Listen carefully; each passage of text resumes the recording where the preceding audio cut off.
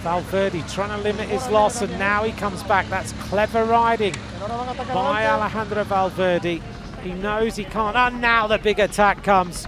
Adam Yates now puts in a huge attack.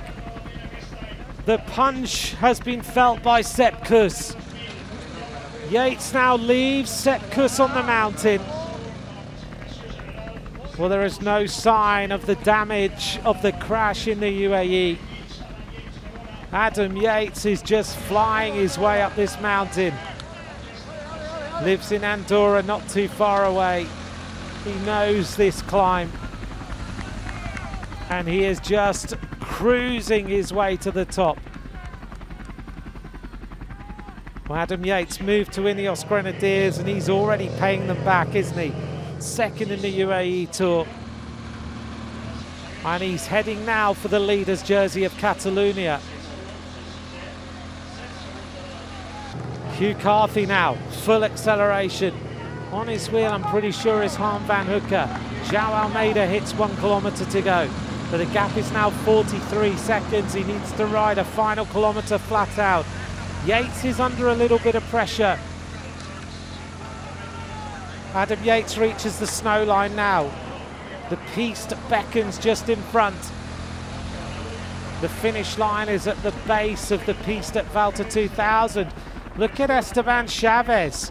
This is a wonderful climb by Chaves. But I don't think he's going to be able to get to the wheel of Adam Yates. 600 metres of climbing to go for the Ineos Grenadier. If Adam Yates wins this, it would be his first victory in these colours. 300 metres to go. Well, the last time we finished here, he beat Egan Bernal, who is now a teammate.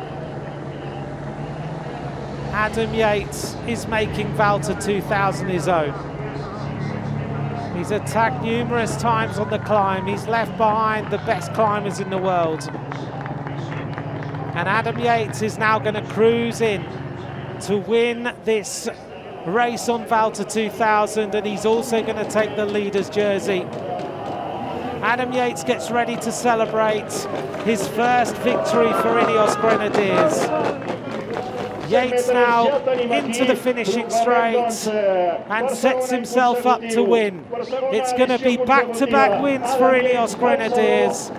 Rohan Dennis yesterday, Adam Yates today. The victory of Vallter 2000 goes to Adam Yates of Ineos Grenadiers.